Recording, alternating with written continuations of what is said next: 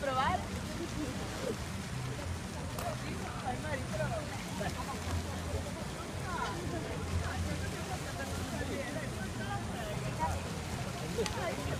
A message from our proud sponsor, Pirelli.